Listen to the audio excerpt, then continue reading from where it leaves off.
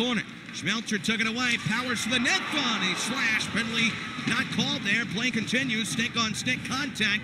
Good job by the Bears to keep it moving. Hobbs to center to Walker. Sgarbosa coming back out.